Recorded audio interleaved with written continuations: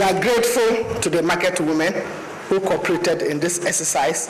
And as you are all aware, they did not, they complied with the request to stay out of the markets. Most of them were, they were all out of the markets.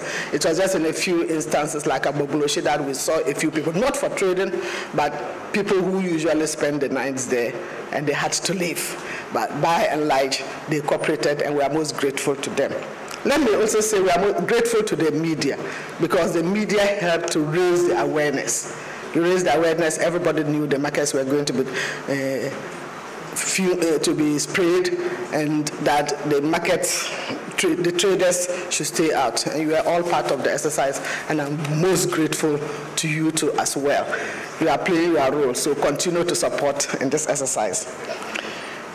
What next? The Yesterday was mainly spraying and cleaning, some limited type cleaning. And a lot of rubbish was packed as you saw. And this morning at dawn, the exercise continued to clear the garbage.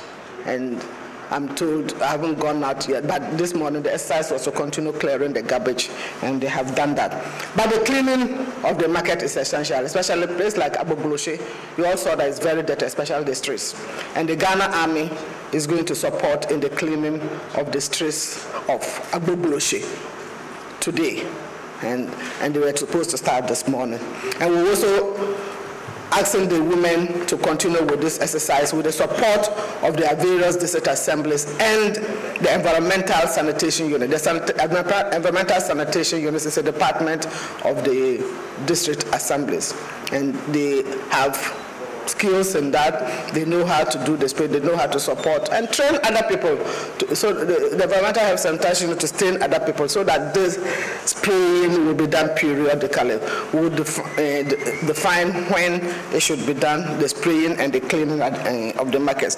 But we would also entreat the women to take women and men in the market, it's not only women who are in the market, those in the market, we entreat them to also play active role in cleaning their various areas. We have planned to continue the rest of the country. It's not only limited to Greater Accra. Our plan is to start uh, Ashanti region on Thursday, and we've, we've uh, come up with a schedule. I will eventually share the schedule with the media so that you help us in raising the awareness. So for the next one week, we'll be targeting the rest of the country.